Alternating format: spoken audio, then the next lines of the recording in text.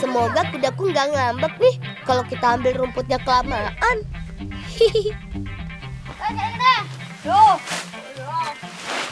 Rindy tulung kayu bakar iki kena pawan. Ibuku masak. Ndang wis aku tak makani jambu lagi jagi. Yo lang. Nah, konco-konco, ini si jambu.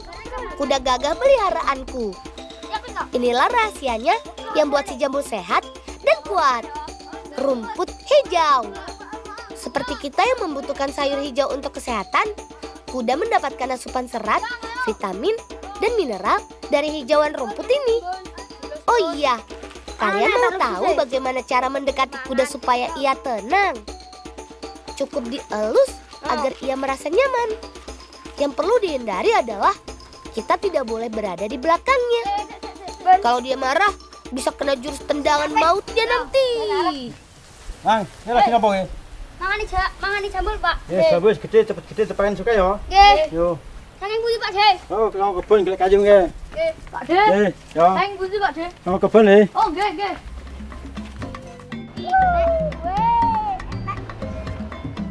Teman, aku dapat buku Sibolang seri Jawa nih dari Kak Dimas. Isinya pengalaman seru petualangan teman-temanku dari Jawa. Nih, gedekan. Ini mah podo Yuk kita belajar bareng bagaimana cara merakit becak lawu dalam kata Sibolang.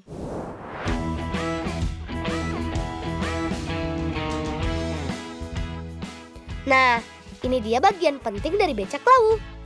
Ada kerangka, ban, as roda, tuas rem, setir kaki, dan tempat duduk. Pertama, pasang dulu bannya. Ban becak lawu dibuat dari kayu yang dilapisi ban mobil sungguhan. Masukkan ban ke dalam as rodanya. Kemudian, jangan lupa pasang cincin dan besi penguncinya.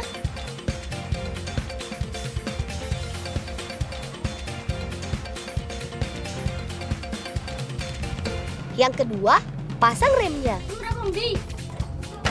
Rem batang kayu di bagian belakang akan dihubungkan dengan kawat ke bagian tuas remnya.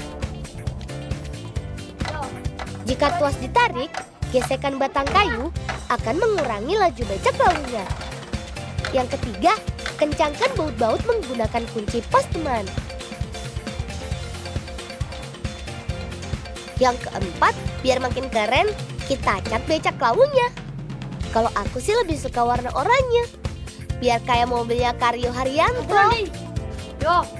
Dan tak lupa ada bendera merah putih sebagai tanda kalau aku cinta Indonesia. Nah, semua sudah beres nih. Becak lawu sudah siap.